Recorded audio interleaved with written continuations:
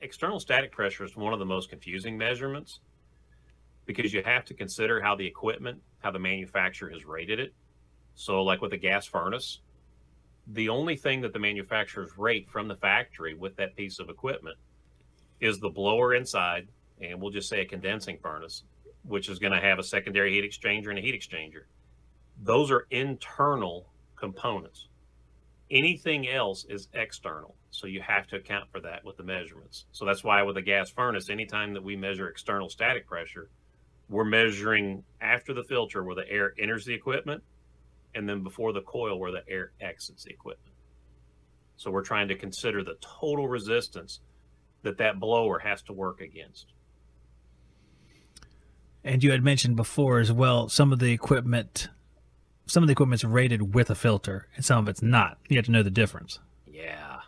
That's where it gets goofy. And that's on air handlers and package units. Gas furnaces are pretty straightforward.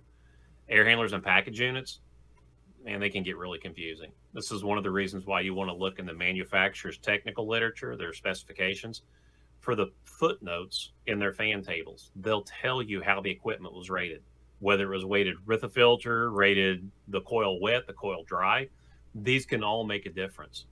And when you're dealing with package units and air handlers, the biggest variable is going to be the coil because that coil is for single piece air handlers, it's an internal pressure drop. And as that coil starts to load up with dirt, number one, you need to find out why. But number two, it's going to change your external static pressure measurements because where it's an internal pressure drop, it's hidden from that measurement. So for those of you that are doing startups on equipment, you'll want to get a pressure drop measurement across the indoor coil on startup and document it somewhere on the air handler or package unit. And you'll also want to note the condition of that coil. Was it wet or was it dry? Because as that pressure drop, if it continues to go up over the years as you go back and service it, that's going to tell you that air is bypassing that filter. And that's a completely different problem. But it'll show up as coil pressure drop. That was one of the easiest ways we got our guys to measure it was instead of having to tear the equipment apart and take all the panels apart and then visually inspect the coil, they could take two pressure measurements and tell pretty quick if that coil was dirty or not. So testing should not equal more work. It should equal making your work easier and faster. So blower speeds vary widely these days. Like back in the day, you had one speed on and off. So when you're going to check stuff, I don't know if this might be just like a public service announcement. You you kind of have to make sure that you're actually in the speed that you're testing because they can change speeds. There's multi-stage equipment. There's fan only speed.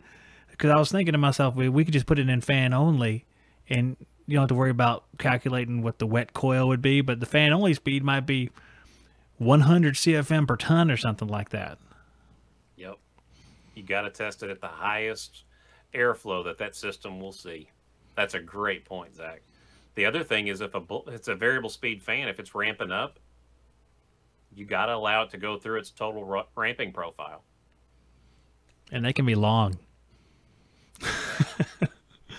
I remember uh, um, Goodman units, as I recall, they had multiple ramping profiles you could choose from for their. Uh, I'm gonna go out on a limb here. I think it's AVPTC air handler the communicating air handler, you could pick one of four different uh, ramping profiles, A, B, C, or D.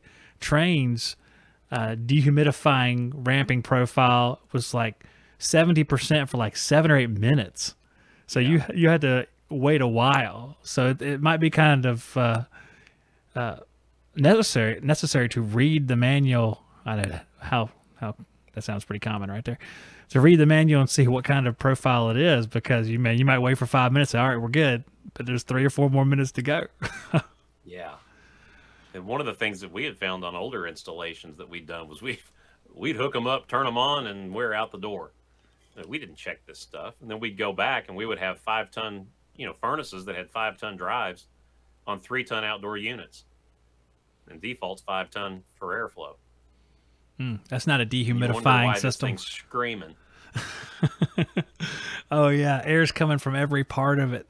You know, you still see stuff like that. Uh, that's what I always thought. Whenever they put together these systems, when it was going from ten to twelve SEER, that's the time frame I'm thinking about.